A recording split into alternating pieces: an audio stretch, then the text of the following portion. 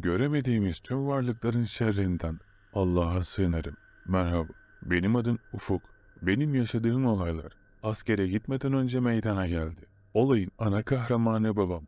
Onunla beraber ben ve annem de onun yaşadığı şeylere şahit olduk. Biz de kötü şeyler yaşadık. Annemin adı Halime, ev hanımı. Babamın adı Mehmet. Kendimize ait olan lokantayı işletiyor. Amcam falan da ortak ama genel itibariyle bizim sayılır. Ben de senelerdir yanında çalıştım. Bu yüzden üniversiteye bile gitmedim. İleride bu işi devam ettirmek için o günün sabahından başlıyorum. Biz araba almak için birisiyle anlaştık. Yaşadığımız şehirden birisi. Erkenden kahvaltı yaptık, çayımızı içtik. Araba sahibinin dükkanına gittik. Arabayı satacak kişi esnaflık yapıyor. Dükkanına gittik. Girerken arabada kapıda duruyordu. Sağına soluna gelişi güzel baktı. Araç sahibiyle hem pazarlık hem de sohbet amaçlı. Dükkanına girip oturduk. Adamın adı İlyas. Abi hoş geldiniz. Buyurun oturun. Zamanınız varsa bir çay söyleyeyim size. Sonrasında arabaya bakarsınız. Beğenirseniz fiyatta anlaşırsak. Ekspertize sokar. Alır gidersiniz dedi. Babam. Olur abi. Ben çay alayım. Oğlan da çay içer.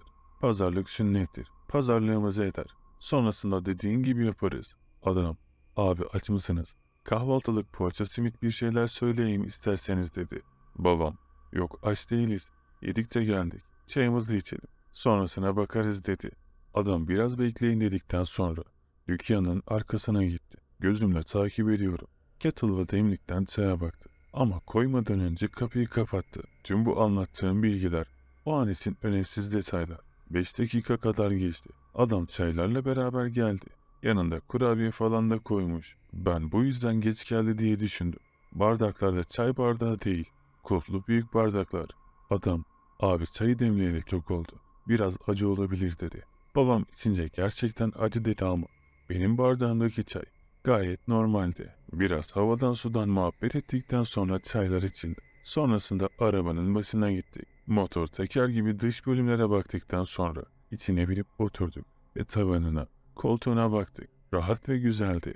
Babam, bu arabanın günahı nedir dedi. Adam piyasanın altında bir fiyat söyleyince babam direkt bana baktı. Ben de babama ekspertizden geçerse düzgün dedim. Alabiliriz dedim direkt. Fiyatı direkt cezbetti bizi. En kötü bir iki sene kullanır. Satarız diye düşündük. Bunun üstüne adam. Abi isterseniz evinize kadar sürün. Oradan ben dükkana dönerim dedi. Bizim de işimize geleceği için tamam dedik. Adama tarif ede ede evimize götürdü bizi. Orada şunu söyleyip gitti. Abi iki gün belki işin çıkar ama üç gün demez. Tekrar buluşuruz. Konuşuruz. Numaram şu. Ararsınız dedi ve gitti. Adam gidince babamla konuştuk. Baba eğer arabanın sıkıntısı yoksa hemen alalım. Bu fiyata böyle araba bulamayız. En kötü ihtimalle kendimiz ederine satar. Artan parayla yeni alacağımız arabada kâr ederiz dedim. Babam da onayladı beni. Eve uğrayıp annemle konuştuktan sonra dükkana döndük. Herkesin keyfi iyiydi. Dükkana gittikten birkaç saat sonra babama bakarken eliyle karnını ovuşturduğunu gördüm. Sürekli aynı şeyi yapıyordu. Babamın yanına gittim. Baba sen iyi değilsin. İstersen eve git. Ben amcamla bugün dükkanı idare ederim dedim. Babam da kabul etti ve eve gitti. Akşama kadar dükkanda çalıştıktan sonra eve geri döndüm. Eve girdiğimde annem yemek yapmış, çayı demlemiş. Babam nasıl diye sorduğumda uyuyor ama iyi dedi. Böyle demese hastaneye gidelim diyecektim. Akşam vakit geçirdikten sonra yattım. Gece hatırlayamadığım kötü bir rüya gördüm. Ertesi gün babam garip şekilde günü geçirdi. Bu garipliğe anlam veremedim. Yine de önemsemedim. Arabayı alacağımız gün geldiğinde babam benden habersiz erkenden kalkıp gitmiş. Öğrenir öğrenmez. Hemen babamı aradım ama cevap yok. Endişelendim. Anneme sordum. Apar topar gitti dedi. Ben de adamı dükkanda bulurum umuduyla dükkana gittim. Haklıymışım. Babamla oturmuşlar çay içiyorlardı. Babamı görünce içimde kor demir vardı. Su döküp soğutmuşlar gibi rahatlama geldi. Selam verdim. Oturdum yanlarına. Konuşmanın ben katıldıktan sonraki kısımları. Adam, abi arabayı satmaktan vazgeçtim. İhtiyacım vardı diye satacaktım. Parayı bulunca vazgeçtim. Sizin de vaktinizi aldım ama ben de sizin bu arayışınıza ortağım bundan sonra dedi. Babam da önemli değil tarzında konuşma yaptı. Çayları içtikten sonra babamla beraber kalktık. Babama yoldayken, baba bu telefon açmama, haber vermemene ya. Açık açık sordum ama babam sanki farklı biriymiş gibi cevap verdi. Size bunu nasıl tarif ederim bilmiyorum. Babam aynı babam. Konuşması falan her şey normal ama her zamanki ciddiyeti ya da uslubu yoktu. Farklılığı aşikar belliydi. Nedenini anlamaya çalışıyordum açıkçası. Birkaç gün daha böyle ufak tefek denecek şeyler yaşadım. Kötü rüyalar, evde bir şeylerin düşmesi gibi ama bu düşme şeyleri o kadar nadir ve gelişi güzel oluyordu ki bunu farklı, paranormal bir olaya bağlamıyordum. Tekrar araba ararken sonunda yine bir tane bulduk. Araba sahibiyle görüştük. Hatasını kusurunu söyledi. Ekspertize götürdük. Adamın dediği dışında bir sonuç olmayınca almaya karar verdik. Adam parayı elden istediği için notere gitmeden bankaya gidelim dedik. Bankaya gittiğimizde birkaç kişilik sıra vardı. Babam normalden farklı bir şekilde sağa sola bakınırken sıramız geldi. Durumu anlattık. Parayı çekmek istediğimizi söyledik. Kadın bilgileri aldı. Baktı bakiyeyi söyleyince ben şok oldum. Babamın yüzüne baktım. Aynı ifadesizlikle bana baktı. Sanki parayı yemişti. Haberi yok gibi. Baba, para nerede dedi. Bilmiyorum dedi. Kadınla biraz konuştuk. Mobil bankacılık falan derken birisine yolladığını bulduk. Babamın telefonundan bir isme gönderilmişti. Ama alıcıyı ne duyduk ne gördük. Babam işlemi de hatırlamıyor. Gönderme tipi bireysel ödeme.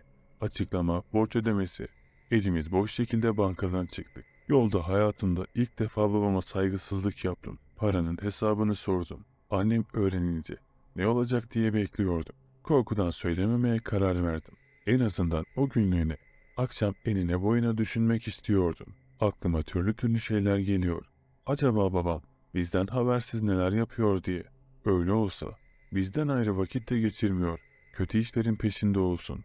Akşama kadar sıkıntıdan böbreklerim ağrıdı. Akşam olunca eve aç karnına gittim. Annem önüme yemek koyduğunda iştahsız şekilde yemeye başladım. Normalde olan halimden eser yoktu. Annem, oğlum, baban birkaç gündür değişik halde. Bu sefer sana ne oldu? Ona mı özeniyorsun? Annem böyle deyince en azından diyeyim de kurtulayım dedim. Anne, canım sıkkın dedim sustum. Bu haberi alsa annem benden daha kötü şey düşünüp ayrılabilirdi. Ne oldu falan diye annemi yokladı. Yalandan birkaç şey saydım. O günü de öyle geçiştirdim. Ben ne yapabilirim diye araştırma yaparken babam dükkanda müşteriyle kavga etmiş. Araya giren tanıdıklara bile küfür falan etmiş. Gittiğim babamı dükkandan aldım eve götürdüm. Yolda bana bile kötü kötü bakıyordu. Sanki parayı ben yedim. Düşmanıymışım gibi davranıyordu. Üstüne bir de evde annemle kavga edince tamam dedim. Babam normal değil. Önce amcamla sonra annemle konuştum. Amcam da fark etmiş. Sebebini anlayamamış. Sormuş ama cevap alamamış. Annem de yatarken babamı sayıkladığını falan söyledi. Yine de bu duruma kötü bir anlam yüklemedik. Ben aklımdan para yüzünden böyle diye düşünüyordum. Yine biraz zaman geçti. Bu sefer huzursuzluk evde başladı. Babam ağza alamayacak küfürler ediyordu annem. Araya ben girince aynı şekilde bana da sövüyordu. Ne Allah ne din ne kitap dinliyordu. O söverken sanki ev sallanıyordu. Annemle birlikte daha fazla dayanamadık. Dükkana gidiyoruz diye evden çıktık. Yolda konuşmaya başladı. Oğlum, baban hiç iyi değil. Ne oldu böyle? Neden değişti? Ağzından küfür çıkmayan, namazlı adamın ettiği küfürlere bak. Babana boşayacağım. Başka bir çarem kalmadı dedi. Anne, belli ki bir derdi var dedim. Durumu anlattım. Annem yine de buna ikna olmadı. Kolumdan tuttuğu gibi bir otobüse bindik. Bir yere gitmeye başladık. Gözüyle sürekli yolu takip ediyordu. Bir noktada durdurdum. Otobüsten indik. Biri tarif etmiş gibi. Şu şurada, bu burada diye kontrol etti. Sonrasında oradaki camiye kadar gittik. İki sokak sonra ara sokağa saptık. Annem bir ismi sorup insanlardan evinin tarifini öğrendi. Dolaşa dolaşa sonunda bir evin önüne geldik. Evin dış kapısını çaldık. Orta yaşlı bir kadın dışarı çıktı. Hiçbir şey sormadan kapıyı açtı. Biz de onunla beraber eve girdik. İçeride şalvarlı gömlekli bir amca oturuyordu. Selam verdik. Karşısına oturduk. Adam, söyleyin bakalım. Size hangi rüzgar attı buraya? Annem, Sufan hocam. Eşimde garip haller var dedi. Adam sorular sormaya başladı. Annem, babamın tüm hallerini anlattı. Hoca, tamam kızım, bakacağız çaresine dedi. Bize bir gün verip, o gün gelin dedi. Biz onun yanından ayrılıp eve döndük. Hocaya gittiğimiz için midir? Başka bir neden mi bilmiyorum. Evde yoktan yere tıkırtılar gelmeye başladı. Annem arada beni çağırıyor. Gidiyorum. Ben çağırmadım diyor. Aynı şekilde o da öyle. Babam desek. O öfke dolu bir halde. Yanına yaklaşmak mümkün değil. Akşam olunca babamın bağırmalarıyla uyandım. Ne görüyorsa yapmayın etmeyin diye yalvarıyordu. Ne kadar dürtersek de olmuyordu. İnsanın bu noktada aklına hiçbir şey gelmiyor. Neyse biz bu şekilde zar zor hocanın söylediği güne ettik. İşimizden geri kalıyor. Konu komşu mahalleli kötü gözle bakıyordu. Dedikodumuzu yapıyorlardı. Normal şartlarda sıradan mütevazi bir ailemiz vardı. Ama kavga bağırtı eksik olmaz oldu. Hocanın yanına bir tanıdığımızla gittik. Annem ben babam arabadan inince hocanın evinin önünde siyah bir duman belirdi. Ev gözükmüyordu. Yoğun bir sis vardı. Bizi getiren tanıdığımız içeriye götürmeye çalışıyor. Kimse adım atamıyor. O duman sonra insan gibi bir şeylere dönüştü. Birden hocanın kapısı açıldı. Hoca dua ederek bizi içeriye aldı. Babamın ağzı kilitlenmiş. Çok yavaş hareket ediyordu. Biz gelmeden hoca hazırlık yapmış. Ayna, mum, örtü gibi birçok eşya. Neler yaptığını söylemem uygun olmaz. Kısım kısım anlatacağım. Hoca bize aynanın karşısına oturttu. Önce annemle beni. Anneme aynanın karşısında mumlarla bir şeyler yaptı. Annemin gözleri ters döndü ve bayıldı. Hoca dua ede bayılan annemi ayılttı. Annemin işlemi yarım saat sürdü. Bitince hoca şunu söyledi. Sendeki durum hafif. O yüzden kolay oldu. Bunların başı ve sebebi babanızda. Sıra bana gelince oturdum. Aynalara bakıyordum. Karşımdaki aynada yansımam bana gülüyor. Tam o gülerken hoca okumaya başladı. O gülen sıfat birden biçimsiz bir varlığa dönüştü. Kayboldu. Aynada ben ve yansımam kaldı. Bir noktada göz kapaklarım ağırlaştı. Sonrasında uyudum. Gözümü sanki çöl gibi bir yerde açtım. Ne ağaç ne de taş. Herhangi bir şey yoktu. Bomboş arazi karşımdaydı. İleride bir varlık vardı. Yarısı insan, yarısı keçi görünümlü bir adam belirdi. Elinde sopayla bana doğru koşuyordu. Bu esnada gökten bir yıldırım çaktı. Hocanın sesi her yerde yankılanmaya başladı. Etrafta beyaz giyinmiş insanlar belirmeye başladı. Onların sayısı bir noktada öyle bir arttı ki arkamda sanki dev bir ordu vardı. Karşımdaki varlık sayı artmaya başlayınca gerisin geriye kaçmaya başladı. Daha sonra o varlığı yakaladılar. Onu diz çöktürdüler önüme. Gerisini hatırlamıyorum. Annem anlattı bana. Hoca bayağı bir dil dökmüş ama benim ağzımdan o varlık hocanın tekliflerini kabul etmemiş. Hoca da öldürün deyip yakmış. Gözlerimi açtığımda sanki omuzlarımdan taş blokları varmış da kalkmış gibiydim. Bize bu işlemler yapılırken babam uyuyordu. Daha doğrusu hoca onun uyumasını sağladı. Elini babamın kafasına koyup bir şeyler söyledi. Babam da uyandı. Hoca bu noktada bize çarşafı kaldırdı. Babamın başının üstüne koydurttu. Kendi de altına girip bir mum yakıp aynaları yerleştirdi. Dua okumaya başladığında babam konuşmaya başladı. Babam hoca, hoca senin okuman bana zarar vermez. Eğer bu Adem oğlunu istiyorsan yardımcılarına direkt yolla dedi. Hoca bak Şerli bu Adem oğlundan çık. Yoksa sonun arkadaşların gibi olacak. Bir süre böyle diyaloglar geçti. Ardından hoca onu köşeye kıstırdı. Bunu kimin yaptığından tutun, nasıl yaptığına kadar anlattı. Amaçları neydi? Bir bir söyledi.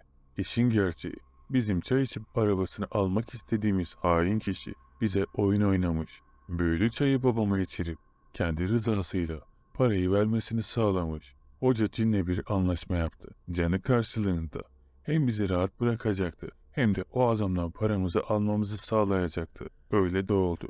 Adam parayı getirdi. Bize teslim etti. Biz de bir daha böyle şeyler yaşamadık. Bu olay bize ders oldu. Aslında dinimize sıkı sıkı sarılmaya başladık. Hikaye burada sona eriyor. Sizlerin de buna benzer hikayeleriniz varsa sosyal medya hesaplarım üzerinden bana ulaştırabilirsiniz. Bir sonraki videoda görüşmek üzere. Videolarımı paylaşarak daha fazla insanın hikayesine ulaşmamı sağlayabilirsiniz. Hoşçakalın.